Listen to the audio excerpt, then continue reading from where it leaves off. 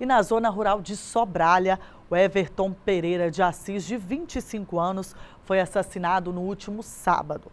A ação criminosa foi registrada no distrito de Platino Soares. Durante as buscas pelo suspeito do crime, um homem foi preso com drogas e um adolescente apreendido.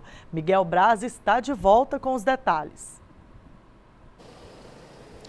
Exatamente, Camila. De acordo com a Polícia Militar, foi um motorista de uma ambulância quem acionou a corporação. Então, os policiais foram até ao local do crime e encontraram o homem morto ainda com capacete na cabeça. Segundo o relatório policial, uma testemunha contou que duas pessoas estavam em uma motocicleta a poucos metros de onde o corpo estava.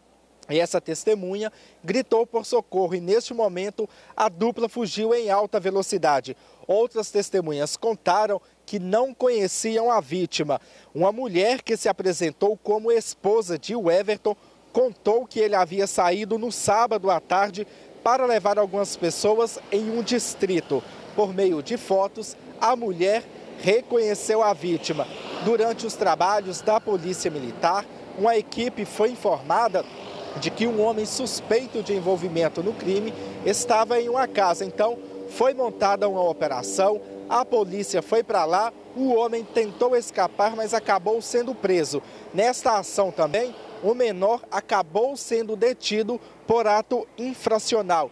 Durante as buscas na residência do suspeito, a polícia recolheu um aparelho celular 29 porções de maconha, sacolas para embalar drogas e 30 reais em dinheiro. O caso foi encaminhado para a Delegacia de Polícia Civil de Governador Valadares. Camila. Obrigada, Miguel. Bom descanso.